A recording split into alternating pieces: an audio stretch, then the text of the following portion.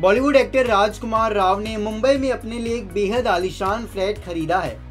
राजकुमार ने मुंबई में स्थित जूहू के एक फ्लैट में जानवी कपूर से खरीदा है। मीडिया रिपोर्ट्स की माने तो इस आलिशान फ्लैट के लिए राजकुमार ने जानवी को करीब 44 करोड़ रुपए चुकाए। तीन हज़ार चार सौ छप्पन स्क्वायर फीट में फैले इस फ्लैट की प्रति स्क्वायर फीट कीमत एक दशमलव सत्ताईस लाख रुपए है। गौरतलब है कि इस सौदे को देश के सबसे महँगे रियल एस्टेट सौदे के रूप में देखा जा रहा है। अभी हाल ही में रणवीर सिंह ने मुंबई के बांद्रा इलाके स्थित 119 करोड़ रुपए का क्वाड्रा फ्लेक्स घर खरीदा था।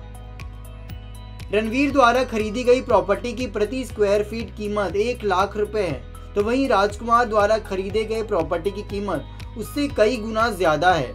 आपको बता दें कि राजकुमार राव और जानवी कपूर ने फ़िल्म रू ही में नज़र आने के साथ काम किया था, जो मार्च में 2021 में रिलीज़ हुई। बता दें कि राजकुमार के film hit the first case release हो चुकी है, जिसे कुछ खास रिस्पांस नहीं मिला है।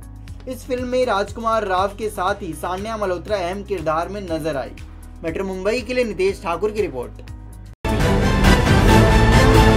खबरों का शहंशाह मुंबई बोले तो मेट्रो मुंबई।